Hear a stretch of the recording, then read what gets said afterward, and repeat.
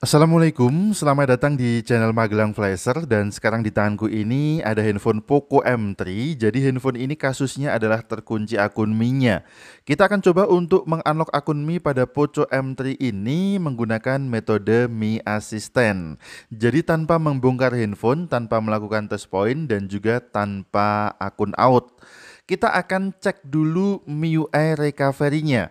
Karena syarat untuk bypass akun Mi atau unlock akun Mi via Mi Assistant adalah harus terinstall MIUI recovery versi 5.0.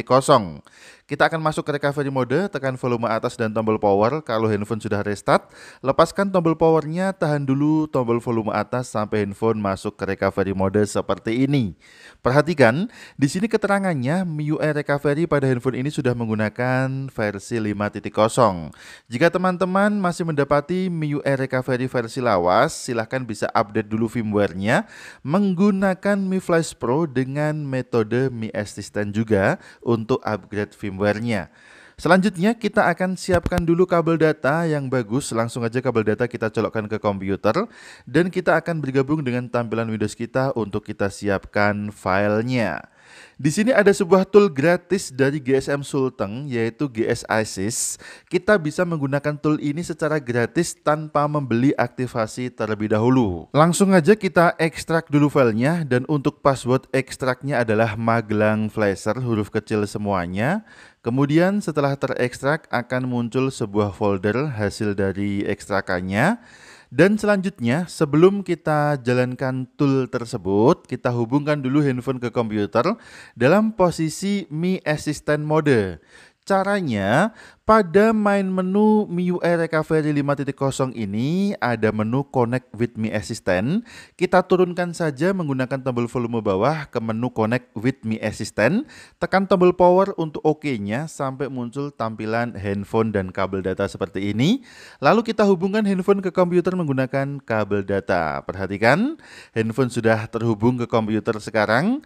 Selanjutnya bisa kita jalankan toolnya dengan cara kita double klik file Harry Sulteng V2 Exe.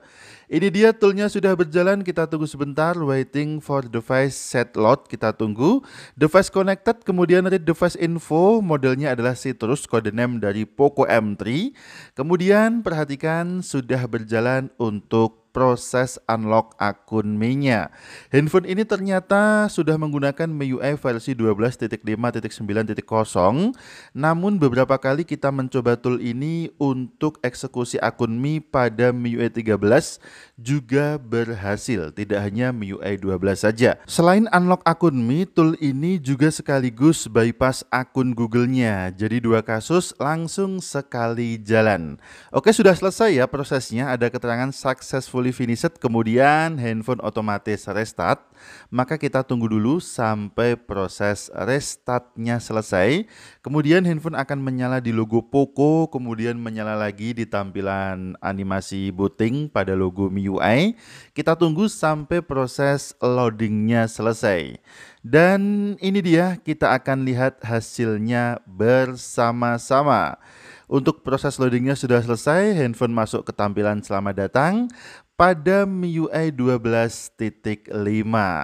Jika kita perhatikan, tampilan terkunci akun Mi-nya sudah hilang, tapi kita akan coba untuk setup dulu handphone ini sampai ke tampilan menu. Kebetulan juga untuk handphone yang aku pegang ini sudah terhubung ke jaringan internet via WiFi. Jadi kita bisa langsung menyaksikan jika handphone ini betul-betul sudah terunlock akun Mi-nya. Handphone kita setup dalam posisi terhubung ke jaringan internet via WiFi dan sudah tidak terkunci lagi akun Mi-nya. Kita coba untuk ganti dulu ke WiFi yang lebih kencang ya. Ini dia, kita ganti SSID WiFi-nya dulu. Oke, kita lanjutkan setupnya lagi. Untuk akun Google juga sudah sekaligus terhapus. Jadi biasanya pada handphone Xiaomi yang di reset kemudian terkunci akun Mi-nya, bisa dipastikan di dalam handphone tersebut juga terkunci atau terdapat akun Google-nya. Maka ketika kita sudah selesai mengunlock akun Mi-nya, kemungkinan handphone masih terkunci akun Google. Tapi menggunakan tool ini, GS Assist Tool ini, dua kasus langsung bisa terselesaikan, yaitu akun Mi dan juga akun Google. Kita tunggu sebentar. Setelah proses loading ini, kita akan lihat bersama-sama jika tidak ada halaman terkunci akun Google pada handphone ini. Yang ada adalah halaman login akun Google seperti ini dan halaman ini bisa kita lewati saja. Tak perlu kita loginkan akun Google-nya sekarang. Kemudian kita lanjutkan setupnya sampai ke tampilan menu.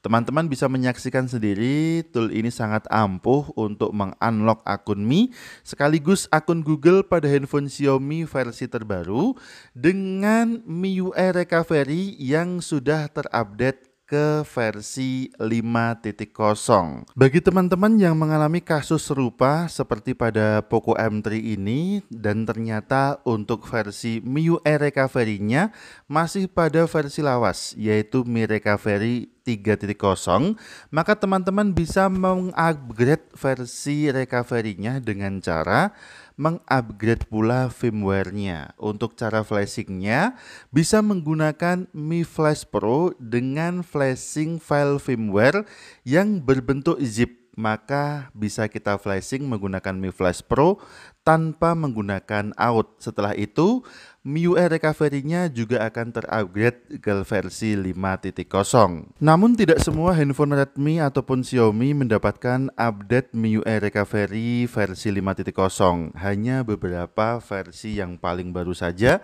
yang mendapatkan upgrade MIUI recovery 5.0. Oke, ini dia untuk Poco M3 sudah berhasil kita setup sampai ke tampilan menu. Kemudian kita cek di bagian menu setelan, kemudian masuk ke bagian akun Mi dan kita lihat ternyata ada tulisan seperti ini, tidak dapat periksa info keamanan. Artinya fitur akun Mi ini tidak bisa kita gunakan lagi. Namun yang jelas akun Mi pada handphone ini sekarang sudah berhasil terbypass. Sudah bersih akun Mi-nya. Handphone bisa kita gunakan dengan normal seperti biasa kembali. Kita bisa meloginkan akun Google melalui aplikasi Play Store, kemudian mendownload aplikasi yang kita butuhkan.